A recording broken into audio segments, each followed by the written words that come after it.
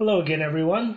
Today we are going to talk about adding a shopping cart for PayPal to your site. In the last video, we had talked about a buy now button. This video is to set up a cart so that you can buy multiple things and have a cart at the end and pay for it all at the end. This is a little more complicated, but we're going to be using a plugin and hopefully it'll be a little more understandable and in the long run a little bit easier. So let me take you through it.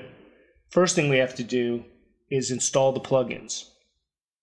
To do that, you go to Plugins and Add New. We're going to do a search called WP Simple Shopping.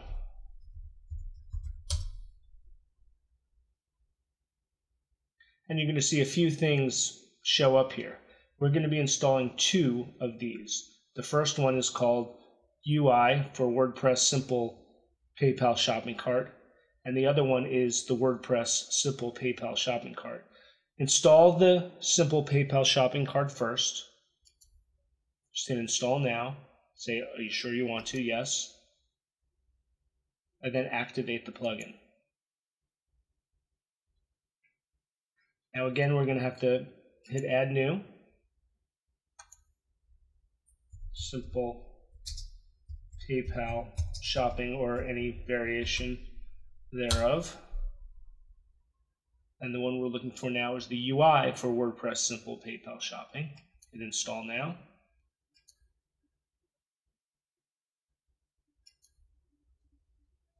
And activate it.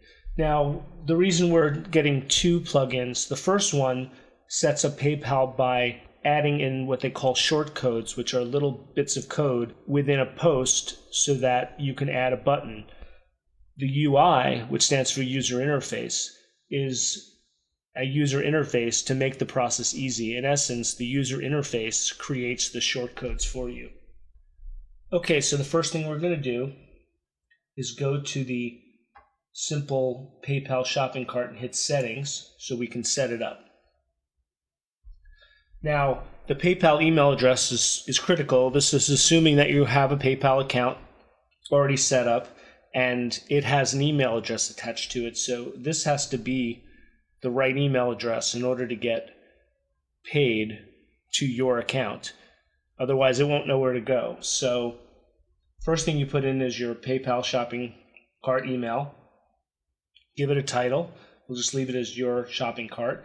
It asks you uh, to show what to show when your card is empty, and we'll just leave it. Your card is empty. I think that's fine. Currency and symbols, these are all sort of basic things. Your base shipping costs, if you want to put in a base shipping cost, or you can choose that as part of the price. That'll come in later. We're just going to leave it at zero. The must collect shipping address on PayPal, I think that box is important. Um, if you are going to be shipping something. If it's a digital download, then you don't have to worry about that. You can also use profile based shipping, which is if you had set a PayPal and you have shipping information within PayPal itself, you can use that profile that you might have already set up.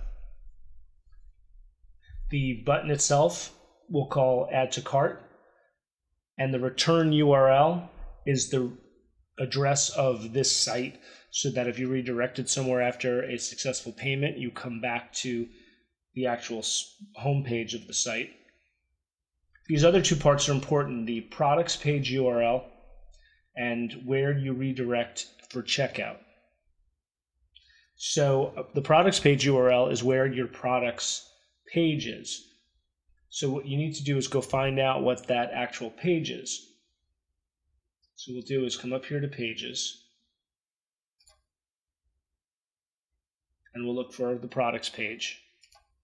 This is the one that I'm using to hold all the products. Yours might be called something else, featured products or something like that, but this is the page. And then if you view the page, you'll get its address.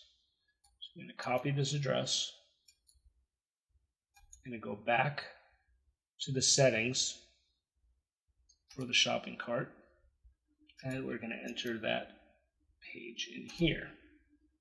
Okay, Let's update that. Now we have to do a checkout page.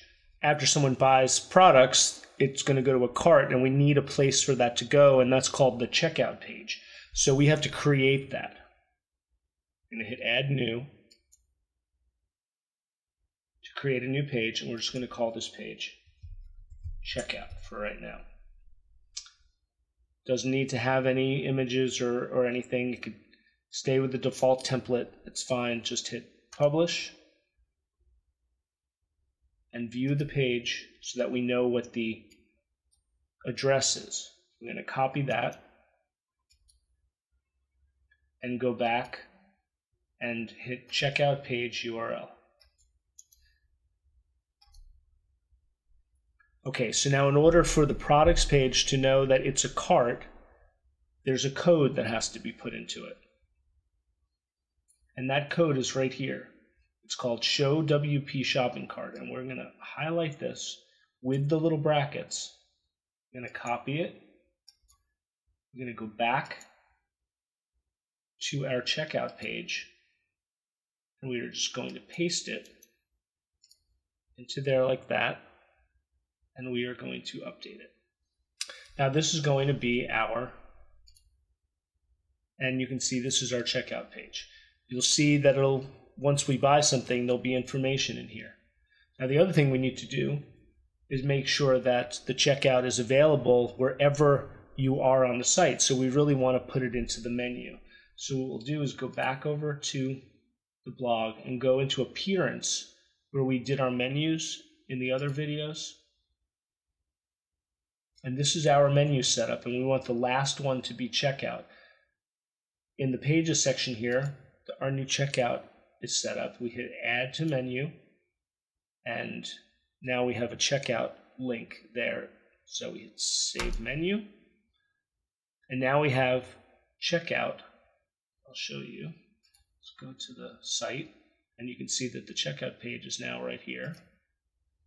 So the next thing we want to do is actually go into a post and add the add to cart button and the pricing information so we can actually buy something. So let's go to the post that we were doing in another video, which was this Haiti clinic photo. You see here, there's a little icon. That little icon is the new UI icon to set up pricing. So what we do is put our cursor here where we would want the pricing to be. We hit this button and a new UI comes up that allows us to put in information about the product and the pricing. So we're going to call this the Haiti Clinic photo. Now I'm going to charge $50 for that photo. My shipping cost is going to be $10. So they have two options here, sizes and colors. If you don't want to use sizes and colors, you can use your own custom ones under custom one and custom two down below. But for what I'm doing here is I just have two sizes, and so I'm going to use both of those sizes. And the way you do that is 8 by 12 is one size. Then you need to hit this line button, which is on your keyboard is above return.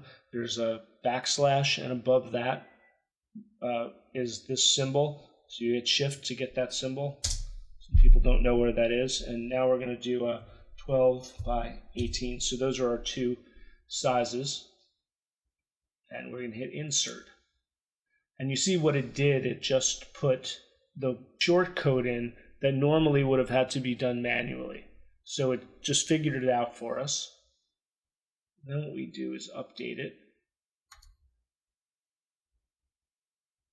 Take a look at it. And you can see there's now add the cart button, 8 by 12 and 12 by 18. The limitation here is we know that this is uh, $50 and there's two sizes, but what if I wanted to do two different prices and two different sizes? The software doesn't have the option to do that, so what you would just do is make two different ones one 8 by 12 add to cart and then you make another one that says 12 by 18 add to cart and then you might want to come down over here because it doesn't say price. You can say you can just write something like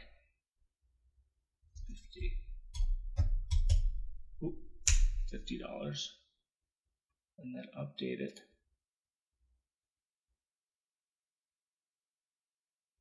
And then view it. And you can see the price there. So that would be the easy way to do it. Now, if we were actually to add this to the cart, and you get taken right to your cart automatically, because this is where we set up that redirect. So Haiti Clinic photo, the 8 by 12 because that's the one that I chose, is here. There's a quantity, it's $50, shipping is 10 and the total is 60 and when they check out with PayPal, and they can use their Visa or MasterCard or American Express or their PayPal account by clicking there. Now let's go back to the product. Let's go back to the clinic photo. Now let's say I wanted to add another one. Add to cart. And now we have another one. It works typical for a cart. It's very simple because we have the UI. Your cart's always there through the menu item. One other thing that you might want to add is a side widget. This area over here where we have this sort of test Twitter and the tag cloud, that is called the sidebar. The way that we have them set up for you is posts have sidebars and pages don't have sidebars. Pages can have sidebars. We haven't set it up that way. There is a way to do that. I'm not going to go into that now, but I do want you to know that it's available to you. Um, so if you went to the products page, you can see it's a full width page. There's no sidebar. We come over here and there's a sidebar. Those sidebars are created through widgets. So this plugin provides a widget for you for the sidebar. So let's go to Appearance, to Widgets, and you can see the latest, what we were just looking at, latest Twitter tag cloud in the sidebar. Well, here's the WP PayPal shopping cart widget. All you do is drag it. You're going to put it at the top. On the top. Just drag it up there. You don't really have to do any settings because we already did the settings. So we hit save. And now, we go to the products page and look on any product or any blog page or any place that there is a sidebar available, you can see now that we have the actual shopping cart in the sidebar as well as the checkout at the top. So I think that's kind of a nice thing to have. Uh, hopefully you understood all this. I know it's a little complicated, and I try to give it to you in a step-by-step way. You might have to view this video a couple of times, but I think this is a good solution for most people that want to add some kind of shopping system to their site. Hopefully it'll work for you. Thanks, and hopefully you'll be back for the next video.